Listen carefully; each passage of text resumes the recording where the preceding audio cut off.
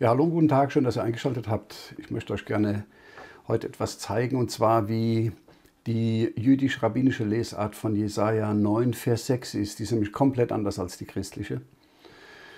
Ähm, ich lese euch erstmal den Vers vor, damit ihr auch wisst, worum es geht. Jesaja 9, Vers 6, da steht: Denn uns ist ein Kind geboren, ein Sohn ist uns gegeben, und die Herrschaft ist auf seiner Schulter, und er heißt Wunderbar, Rat, Kraft, Held ewig Vater, Friedefürst. Also ein sehr starker Hinweis auf Jesus Christus, ein Vers, der gerne auch zu Weihnachten gelesen wird in den christlichen Kirchen, der aber ein Riesenproblem für die Rabbiner darstellt und für die Juden überhaupt, weil das würde ja bedeuten, dass in Jesaja 9, Vers 6 von Jesus Christus die Rede ist. Ja?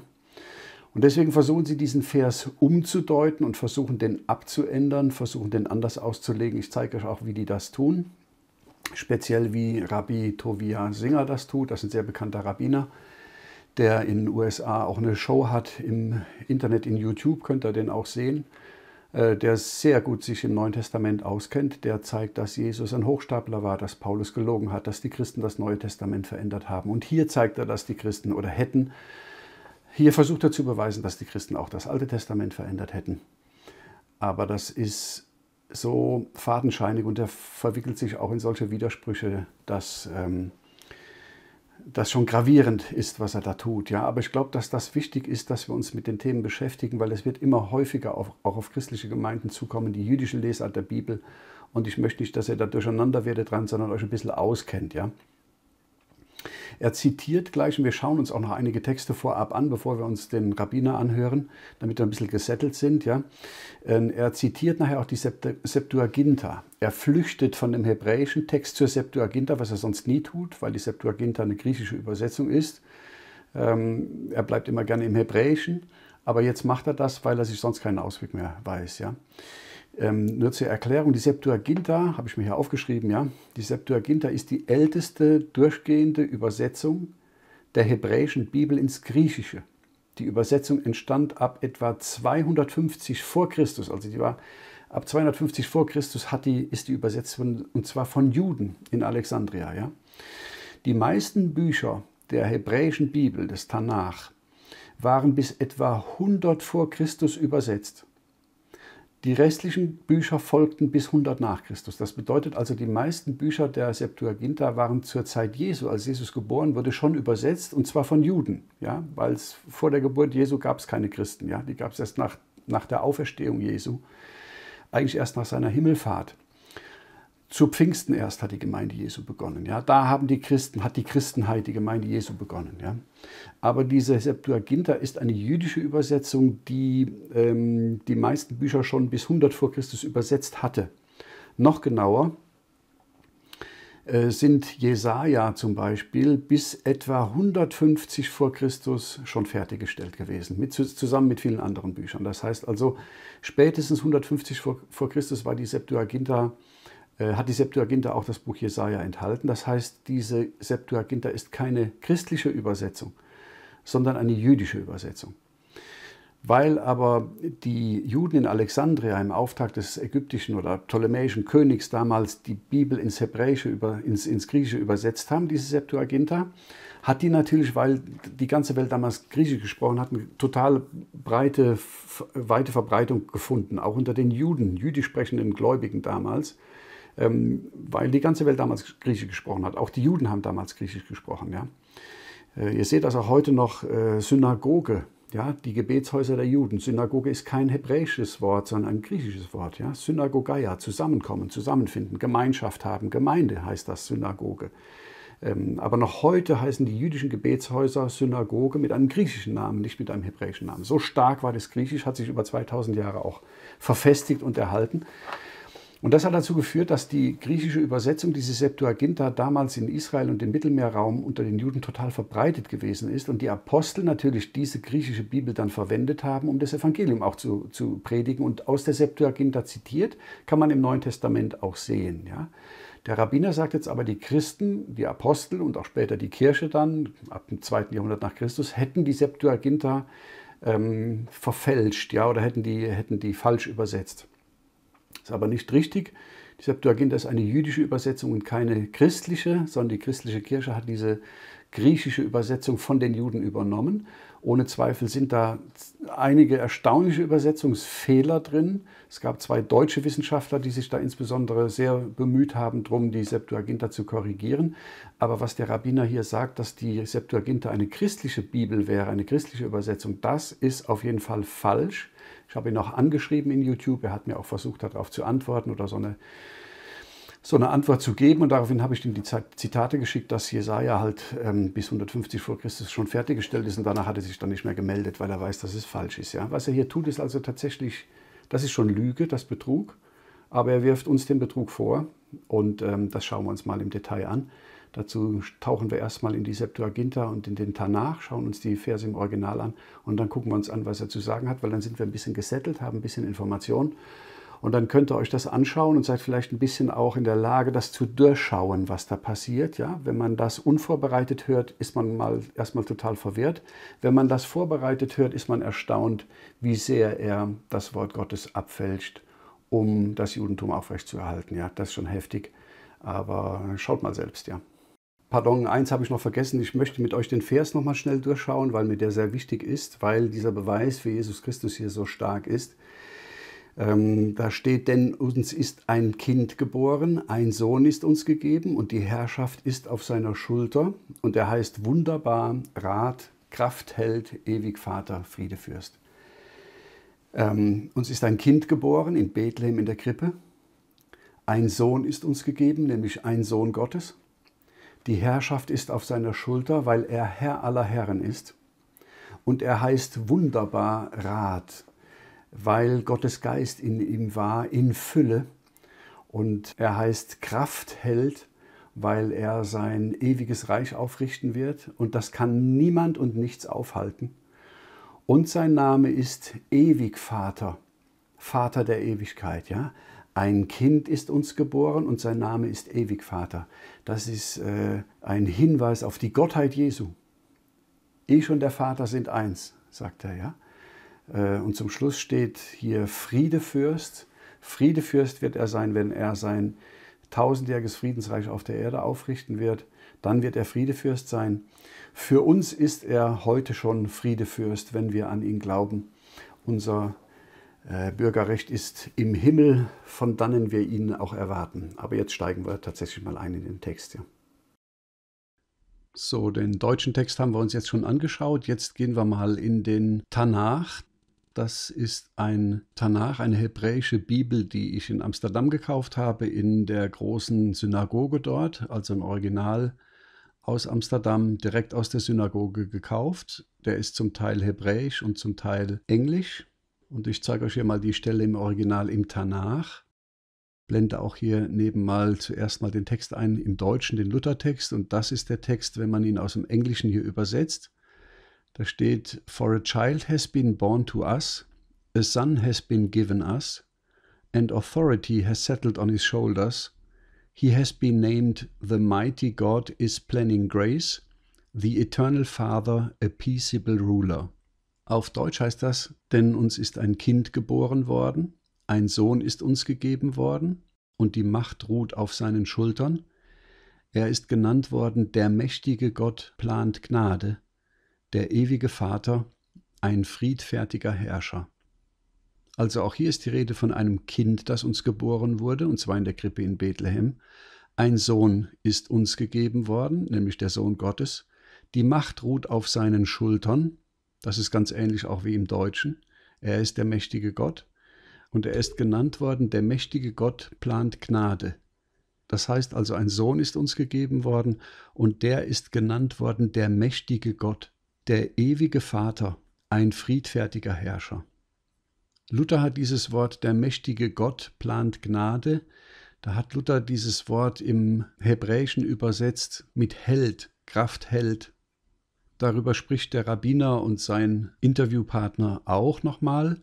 Und sein Interviewpartner sagt zu ihm, dass man dieses Wort El eigentlich ja mit Held übersetzen müsse, dass in Hesekiel auch sowas stehen würde, wo das Wort dann für den babylonischen König verwendet würde und dass man da nicht Gott übersetzen dürfte eigentlich.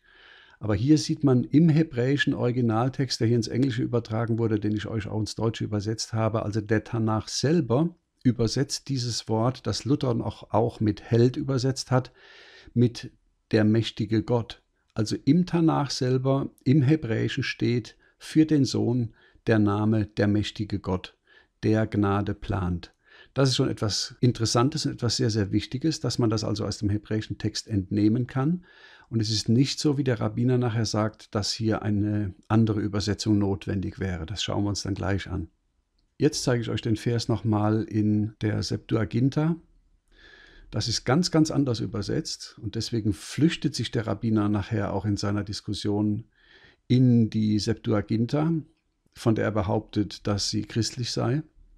Und da steht in Vers 6, denn ein Kind wurde uns geboren, ein Sohn wurde uns sogar geschenkt, auf dessen Schulter die Herrschaft gelegt wurde und dessen Name lautet Bote großen Ratschlusses. Denn ich werde Frieden bringen über die Herrscher, Frieden und Gesundheit für ihn. Das hat also mit der Gottheit Jesu überhaupt nichts mehr zu tun. Da ist die Septuaginta komplett anders übersetzt worden und die zitiert der Rabbiner dann auch natürlich gerne, er behauptet, dass das sogar eine christliche Übersetzung sei. Es ist aber eine jüdische Übersetzung, die ganz offensichtlich hier aus ganz unerfindlichen Gründen sich sehr weit vom hebräischen Text entfernt hat. Der Rabbiner müsste sich aber dennoch auf den Tanach in seiner hebräischen Übersetzung beziehen und dann käme er nicht umhin anzuerkennen, dass Jesus Christus Gott ist, dass er der Messias war. Denn ein Kind wurde uns geboren, ein Sohn wurde uns gegeben und sein Name ist wunderbarer Rat, Kraftheld, Ewigvater, Friedefürst. Zum Schluss zeige ich euch noch die englische Übersetzung der Septuaginta. Hier wieder Vers 6. For a child is born to us, and a son is given to us, whose government is upon his shoulder, and his name is called the Messenger of Great Council, for I will bring peace upon the princes and health to him. Also hier sieht man auch wieder, wie weit die Septuaginta sich hier vom Hebräischen entfernt. Ganz erstaunlich. Und das mag auch der Grund sein, warum die Apostel in ihrer Argumentation der Gottheit Jesu und der Lehre über Christus Jesaja 9, Vers 6 nicht zitiert haben, weil sie aus der Septuaginta gelesen haben und diese eklatante Diskrepanz zwischen dem Text der Septuaginta und dem Hebräischen sicher für Verunsicherung gesorgt hätte unter den jungen Christen. Aber wir sehen jetzt im direkten Vergleich zwischen der Septuaginta und dem Tanach, was der Tanach sagt und dass das, was der Rabbi nachher ausführt, nicht wahr ist. Mit dem, was wir jetzt wissen, schauen wir uns jetzt mal das Interview an, dann wird vieles dort besser verständlich. Um, Jesaja 9, Vers 6. Natürlich wollen wir auch noch Daniel anschauen, aber Jesaja 9, Vers 6, er heißt wunderbarer Rat, mächtiger Gott, ewiger Vater. Ich habe deine Argumente dagegen gehört, aber viele noch nicht. Viele von denen, die an die Dreieinigkeit glauben, geben zu, dass Jesus niemals ewiger Vater genannt wurde. Wäre es richtig, wie ich gesehen habe, dass das Wort mächtiger Gott besser übersetzt würde als El Gibor oder genauer gesagt ein mächtiger Held oder also nicht allmächtiger Gott. Zum Beispiel gibt es ja auch in Ezekiel einen Bezug, ich glaube, auf den babylonischen König. Dort ist das Wort El Gibor, der Herrscher. Aber der Punkt ist der, niemand übersetzt das als im Sinne von ein Gott. Also die Frage noch einmal, sehen wir hier nicht eine Unehrlichkeit in der Übersetzung? Sag doch speziell was zu diesem besonderen Vers. Also das Ganze ist ein Fake. Ihr müsst das genau wissen. Die ganze Sache ist so ein Fake, so ein Betrug, dass das Neue Testament nicht mal daran denkt. Das bedeutet, wenn Jesaja 9, Vers 6 tatsächlich über Jesus redet und der Vers uns sagt, dass er göttlich ist, willst du damit sagen, dass Matthäus, Markus, Lukas und Johannes Paulus, wer auch immer das Evangelium von Johannes schrieb oder Petrus, niemand hat daran gedacht. Das ist ein späterer Fake. Das ist ein Verbrechen, das ist aus dem zweiten Jahrhundert. Es ist nicht einmal erwähnt in der christlichen Bibel, also im Neuen Testament, weil sie nicht so dumm waren, damit anzukommen. Das ist eine spätere Erzählung. Ja, das ist keine spätere Erzählung, wie wir gesehen haben. Die Septuaginta war schon spätestens im ersten Jahrhundert vor Christus fertig und dazu gehört auch der Jesaja-Text. Das haben also nicht die Apostel dann nachher eingefügt, sondern das hat die Septuaginta schon als Textinhalt und die Septuaginta wurde von Juden übersetzt und zwar weit vor der Geburt Jesu. Schauen wir mal weiter. Was die Kirche getan hat, also der Text redet von Hiskia, dem König. Wirklich ein großer davidischer König. Ein Ur-Ur-Urenkel von David. Das ist der Kontext. Der Kontext ist, Jerusalem wurde belagert vom assyrischen Weltreich und aus diesem Reich wurden 185.000 Soldaten getötet. Ja, den Text haben wir uns auf meinem Kanal ja schon öfters angeschaut in Videos. Wer die verfolgt hat, weiß, worum es sich da handelt. Wenn es Hiskia gewesen sein sollte, wurde Hiskia denn Gott genannt? Aber auf gar keinen Fall. Ja. Ähm, hier versucht der Rabbi so ein bisschen Ausflüchte zu machen und den historischen Kontext da irgendwie zu zeigen. Aber wenn man diesen Vers im Kontext liest, dann müsste man ja geradezu behaupten, Hiskia wäre göttlicher Natur. Und das geht gar nicht. Ja. Also das ist vollkommen abwegig. Wir schauen weiter. Also Hiskia oder Hiskiahu in Hebräisch, weißt du, was sein Name bedeutet? Chiskiahu heißt der mächtige Gott. Hier habe ich euch die Übersetzung aus dem biblischen Namenslexikon von Dr. Abraham Meister. Und da steht tatsächlich bei Hiskia bedeutet Stärke Jahwes, also Stärke Gottes. Ja? König von Juda, der seinem Vater Ahas auf dem Throne folgte. Das ist also richtig, was der Rabbi hier sagt. Prüft das selber nach. Das nennt sich die theophorische Methode. Eine theophorische Methode bedeutet, also das gibt es überall im Tanach, auch in meinem Namen. Die theophorische Methode bedeutet, dass Menschen mit göttlichen Namen benannt werden. Elia ist ein göttlicher Name. Der Herr ist Gott, das ist es, was Elia bedeutet. Heißt das, dass wir jetzt Elia als Gott anbeten sollen? Eli heißt mein Gott. Heißt das, Eli ist Gott? Ein Priester ist Gott? Nicht in jedem jüdischen Namen, aber in den meisten. Also Daniel, Gott richtet. Heißt das, Daniel ist göttlich? Ja, die Übersetzung, die der Rabbi da von den Namen Hiskia und Daniel vornimmt, die ist richtig. Aber im Text steht halt, dass sein Name ewig Vater ist. Ja? Während Daniel nur heißt, mein Richter ist Gott. Und Hiskia nur heißt, Stärke Gottes. Hiskia heißt ja nicht, ich bin Gott. Oder Daniel heißt nicht, ich bin Yahweh sondern äh, das sind ja äh, Namen, die, die die Stärke Gottes oder Gott als Richter beschreiben. Während in Jesaja 9, Vers 6 steht ja, dass sein Name ist Ewigvater, unmittelbar. Ja, das müsste der Rabbi eigentlich sagen, tut er aber nicht.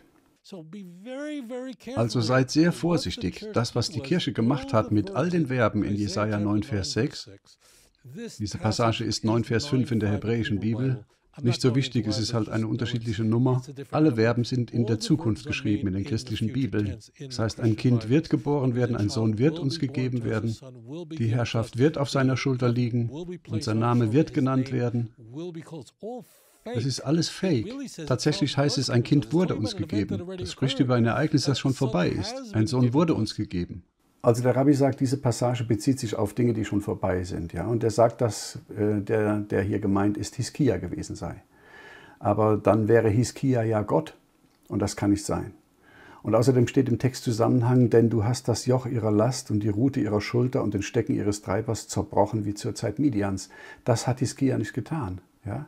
Das ist etwas, ist eine Prophetie, die fürs tausendjährige Reich gilt, die für die Zukunft gilt und die zu der damaligen Zeit nicht passiert ist. Also es macht keinen Sinn, das auf die Zeit des Kias zu beziehen. Ja? Aber wir schauen weiter. Es ist keine Prophetie für die Zukunft. Natürlich nicht. Und ich bitte die Leute, obwohl es die Zukunft verwendet, nein, es verwendet nicht mal die Zukunft. Es ist nur in der Übersetzung in der Zukunft. Es ist nicht im Hebräischen. Also meine Freunde, also alles, was ihr tun müsst, mit dem Wort Vayikra beginnt das Buch Levitikus. Ihr könnt das selber prüfen, ihr müsst mir nicht glauben. Ihr Zuschauer denkt vielleicht, ah, der Rabbiner mag keine Christen. Der Rabbiner ist voreingenommen. Muslime und Juden mögen die Christen nicht. Also nochmal, ich möchte euch ermutigen. Also alles, was ihr müsst, ist nach dem Wort Vayikra gucken, okay? Eure King James Bibel übersetzt, er wird genannt werden, okay? Sucht also überall dort, wo das Wort in der hebräischen Bibel auftaucht. Und ich kann euch schon sagen, das Wort taucht in den jüdischen Schriften ungefähr 209 Mal auf? 209 Mal. Bingo. Damit beginnt das Buch Levitikus. Und es heißt immer, er wurde genannt. Warum verändern die christlichen Bibeln alle Verben ins Futur? Wie habt ihr den Text verändert? Warum? Weil ihr versucht, aus dem Text eine Prophetie zu konstruieren über ein Ereignis, das schon passiert ist. Ja, also den Schuh muss sich der Rabbiner selber anziehen, denn die Frage ist ja die, warum ist die Septuaginta so weit vom hebräischen Text abgewichen? Das ist ja eine jüdische Übersetzung und die hat den Text so sehr stark verlassen, ja, dass sie sogar äh, den Namen Gottes da auslässt und eigentlich den ganzen Sinn auch komplett verfälscht, während das Hebräische im Tanach das ja zeigt. Und es ist überhaupt nicht so, als ob wir eine Prophetie da herauskonstruieren wollten, sondern im Hebräischen, im Tanach steht, ein Kind ist uns ge geboren und dessen Name ist Ewigvater. Ja, das steht in seiner hebräischen Bibel und das müsst ihr eigentlich anerkennen. Ja, da geht es also nicht darum, dass die Christen die Bibel verfälscht hätten, sondern ich sage es mal so ganz frontal und vielleicht dann einfach etwas verständlicher, einfacher verständlich. Die Juden haben mit der Septuaginta den Text des Tanach äh, verfälscht. Und wenn man in den Text des Tanach reingeht, dann sieht man, dass die Übersetzungen, die wir heute haben, gut sind und sauber sind und, und äh, belastbar sind. Ja. Ähm, dass diese Verben ins Futur übersetzt äh, worden sind, ist eine Eigenart der King James Version. Ähm, in den deutschen Bibeln ist das nicht so. Ja. In der Lutherbibel ist das nicht so, könnt ihr auch nach, nachlesen. Ähm, dass die Vergangenheitsform da steht, liegt daran, dass die Perspektive aus dem tausendjährigen Reich wieder zurückgeht auf den Messias, der gekommen ist und ähm, die Route zerbrochen hat, wie zur Zeit Midians. Ja, das hat Hiskia zu seiner Zeit nicht getan. Ja. Aber wir schauen mal weiter. Bitte lest Jesaja 36 und 37. Da wird die damalige Situation wiederholt, aber mit mehr Details. Schaut 2. Könige 18 und 19. Da wird es wiederholt. Bitte schaut 2. Chronik. Dort ist alles enthalten über diesen Vorfall. Hiskia war prima. Wer ist der Held hier? Der Held ist Hiskia. Er war ein ganz großartiger König. Ja, diejenigen, die meinen Kanal verfolgt haben, kennen diese Bibelstellen alle. Die haben wir vielfach behandelt. Ja, ähm, da geht es immer wieder um Hiskia, da geht es um ein eine Ankündigung der Wiedergeburt Jerusalems in der Endzeit. Ja. Ähm, das, was wir dort sehen, ist etwas Großes und auch eine große Prophetie. Aber das, was Jesaja 9, Vers 6 sagt, passt nicht auf Hiskia. Dazu war Hiskia zu schwach. Diese Kraft wird erst Jesus Christus haben, wenn er wiederkommt. Schauen wir mal weiter. Tatsächlich heißt der Text wie folgt. Der großartige Ratgeber, der mächtige Gott, der ewige Vater, nannte seinen Namen der Prinz des Friedens. Das ist die saubere Übersetzung. Nein, Rabbi Singer, das ist nicht die saubere Übersetzung. Die saubere Übersetzung haben wir eben im Tanach nachvollzogen. Das ist heftig, was er hier tut. Ja? Also jetzt verlässt er wirklich den Text und jetzt biegt das ab und biegt das weg und jetzt wird er auch unehrlich. Ja? Wir machen Fortsetzung. Und es ist interessant, es gibt muslimische Hebraisten, die das verstehen und ich bin sehr stolz auf sie. Aber bitte, ihr müsst die Grammatik kennen. Übrigens, das ist nicht in der Septuaginta. Man sollte wissen, wie die Septuaginta das formuliert. Ich habe das noch nie im Internet gesagt.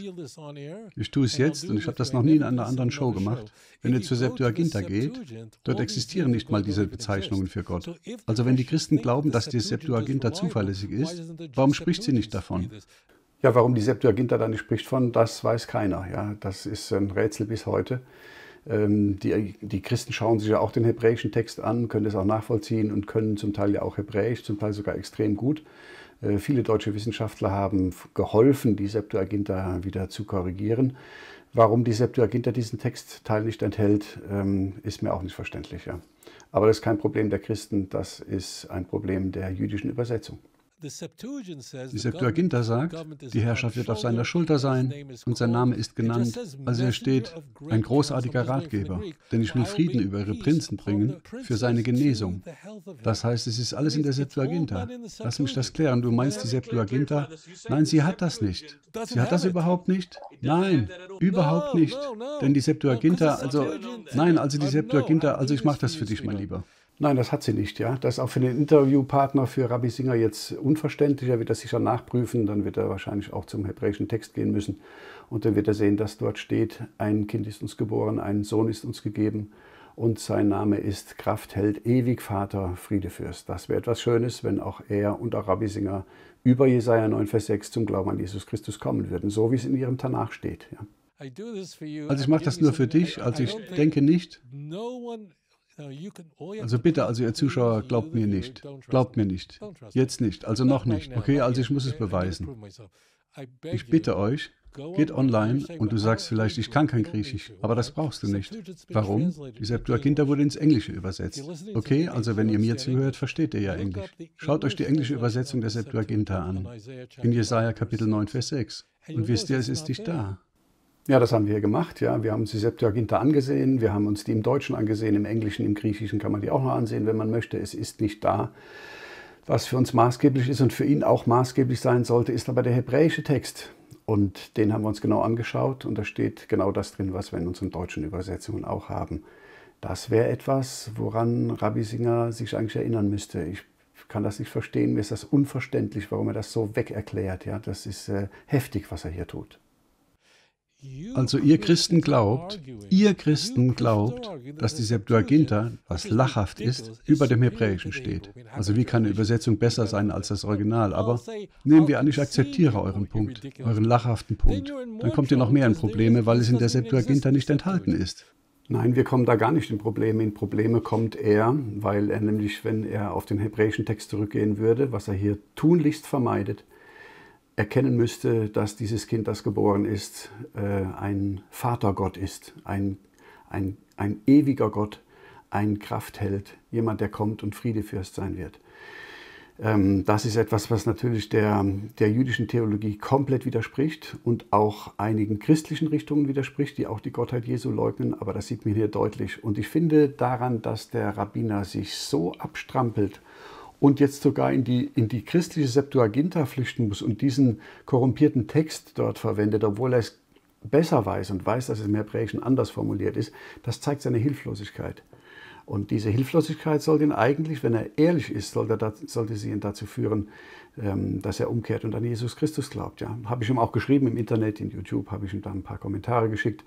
Ähm, er hatte dann gesagt, dass die Septuaginta dann nicht komplett übersetzt wäre. Dann habe ich ihm äh, geschrieben, dass Jesaja schon übersetzt war und zwar vollständig. Und dass ich mir vorstellen könnte und wünschen würde, dass ich mir wünschen würde, dass er zum Glauben an Jesus Christus kommt, vielleicht mit Jesaja 6, weil er ist schon ein begabter Lehrer. Ähm, und wir Christen bräuchten eigentlich so begabte Lehrer, aber wir brauchen natürlich begabte Lehrer, die uns in die Grundtexte reinführen und uns das Evangelium erklären, nicht das Judentum. Ja, dazu müsste er sich eigentlich erst bekehren, sonst funktioniert das nicht. Ja, aber schön wäre es schon und man könnte es ihm von Herzen wünschen. Wir schauen weiter. Die Septuaginta hat eine Menge Unklarheiten. Das bedeutet also keine schwerwiegenden Sachen, aber ich möchte das hier kurz machen. Die Septuaginta hat so einige Sachen. Also was sie gemacht haben, es gab so viele griechische, griechische, griechische Übersetzungen und ein paar Leute haben was ausgelassen und eigentlich hat es die Kirche wieder miteinander vermixt und alles, was wichtig war, vergessen. Ja, das ist jetzt einfach falsch. Ja. Haben wir ja gesehen, die Septuaginta war 100 vor Christus schon fertig in ihren wesentlichen Schriften. Jesaja gehörte unbedingt dazu, das ist ein großer Prophet. Da hat die Kirche überhaupt nichts vermischt und miteinander vermixt, äh, sondern das ist einfach eine schlechte Übersetzung, äh, die von den Juden herkommt. Also der Ball liegt hier in seinem Feld, nicht in unserem Feld. Aber das muss man wissen. Ja wenn man das nicht weiß, dann verunsichert, verunsichert ein, so eine Auslegung hier oder so eine Interpretation. Eine Auslegung ist das ja nicht. Das ist nicht mal eine Interpretation, das ist eine Flucht und fast muss man schon sagen panisch, weil er alle möglichen Nebelkerzen werfen muss, um äh, darüber hinwegzutäuschen, wie sehr er hier dem hebräischen Text widerspricht. Und er strampelt und arbeitet daran und macht Vorwürfe und wird emotional. Da merkt man schon, dass er eigentlich auch unsicher ist. Vielleicht bewegt sich ja was in seinem Herzen. Wer weiß das? Paulus war ja auch vorher ein recht harter Harzknauben, wie man im Schwäbischen sagt. Das ist, was wirklich passiert ist. Aber wenn ihr der Septuaginta trauen wollt, wenn ihr eure Septuaginta so sehr liebt, warum ist es nicht drin? Hallo und gute Nacht.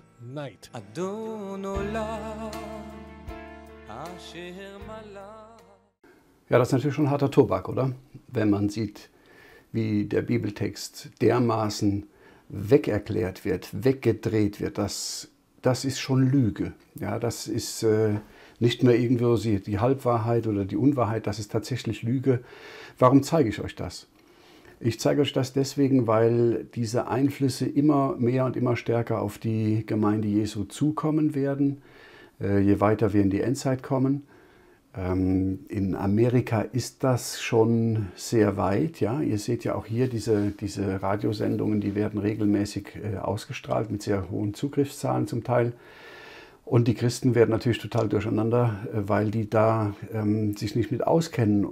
Warum? weil das in den christlichen Kirchen nicht mehr gelehrt wird, auch in den Gemeinden nicht mehr gelehrt wird. Wir sind in diesen Dingen überhaupt nicht informiert, auch nicht unterrichtet, weil das niemand mehr tut. Die Pastoren wissen das zum Teil selber nicht. Ähm, warum das nicht gelehrt wird, weiß ich nicht genau. Ähm, irgendwie scheint das so eine gewisse Armut in den Gemeinden und Kreisen zu sein, die da grassiert. Auf jeden Fall ist die Christenheit meiner Meinung nach in Bezug auf ihre Bibelkenntnis vollkommen sturmreif geschossen. Ja, man geht da entweder in die Schwärmerei rein, ich sage ja immer wie im Fieberwahn, ja, äh, total emotional, gefühlsbetont, ähm, oder man ist äh, total gesetzlich und die, die gute Mitte, die man da finden sollte, oder ich sage mal lieber, Mitte gefällt mir nicht so sehr gut, sondern die Nähe zum Wort Gottes, das fehlt überall. Und deswegen möchte ich euch das gerne zeigen, dass ihr ein bisschen vertraut seid mit den Gedanken, mit dem Denken auch der äh, Rabbiner und wie, wie die Rabbiner das auslegen, damit ihr einfach ein bisschen gewappnet seid, auch für andere Themen, die da auf euch zukommen werden. Vielleicht, ja.